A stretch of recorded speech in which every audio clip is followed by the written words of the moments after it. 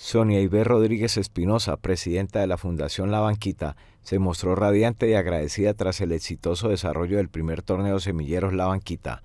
A solo cuatro meses de haber fundado el club, el evento se consolidó como un hito significativo en el ámbito del fútbol juvenil en el departamento Vallecaucano.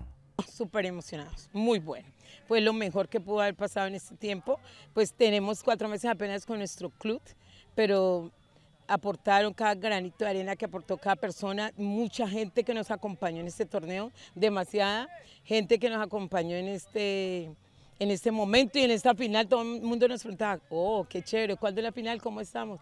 Y estamos muy bien preparados porque ayudando a estos chicos que queremos ver otras cosas de ellos, todos los días pensamos qué vamos a hacer con ellos, qué otras cosas mm, buenas para ellos que estén siempre ocupados. Es nuestra idea, felices. Hablo en plural porque qué felicidad. Eso fue algo muy grande. Muy chévere, muy chévere poder ayudar a la, a la comunidad de La Paila. La presidenta destacó la colaboración del equipo, en especial del género femenino, que jugó un papel crucial en la organización del evento Además, Rodríguez extendió un llamado a quienes puedan contribuir a futuros proyectos.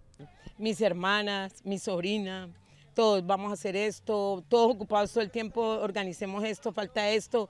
Siempre hay pendientes todos en cada granito que ponían, vayan por esto, faltó esto, que los implementos deportivos, que la, bueno, que la comida, bueno, todo, todo, todo, todas ahí muy unidas. Eh, y pendientes de los muchachos que necesitan, que, en qué podemos aportar, que ayudamos. Felices con CNC, porque hoy, mucha gente me escribía, vamos ganando, vamos ganando, pero chévere porque todos los que no pudieron asistir lo estaban viendo por CNC y mucha gente eh, preguntando por los jugadores, que el número 15, 7, ¿cómo, ¿cómo se llama? No sé qué, buen jugador. Muchas gracias a ustedes, la verdad, fue un tiempo muy chévere.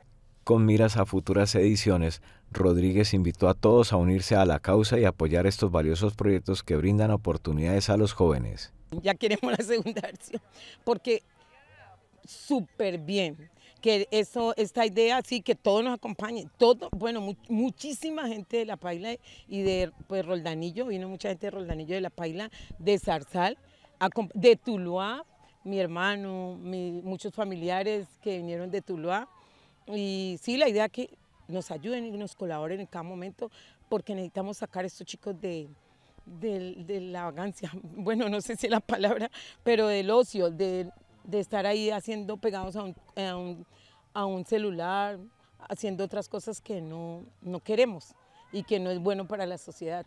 El primer torneo semillero La Banquita no solo demostró la capacidad organizativa de la fundación, sino también el fuerte compromiso con el desarrollo deportivo juvenil.